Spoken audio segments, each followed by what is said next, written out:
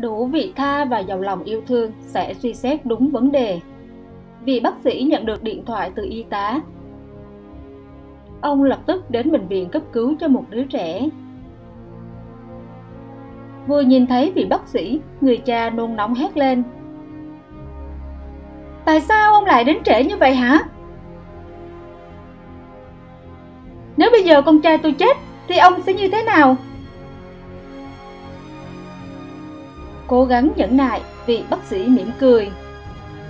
Tôi sẽ thành tâm cầu nguyện với chúa. Chúng con đến từ các bụi, rồi lại quay về với các bụi. Xin ông hãy cầu nguyện cho con trai ông đi. Vị bác sĩ im lặng bước vào phòng mổ. Và vài tiếng trôi qua trong lo lắng. Ơn chúa, con trai ông đã được cứu sống nói rồi vị bác sĩ vội vã bước đi, không kịp nhận câu trả lời. Sao ông ta có thể kiêu ngạo đến vậy?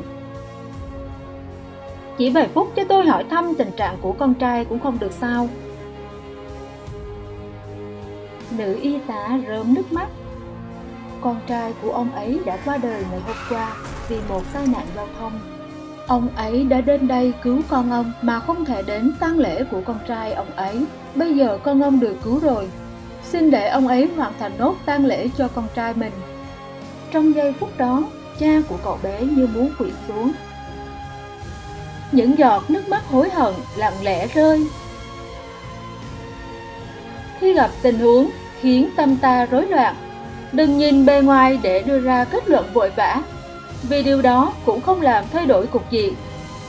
Chỉ có dùng vị tha và lòng yêu thương mới có thể giúp chúng ta bình tâm suy xét đúng vấn đề.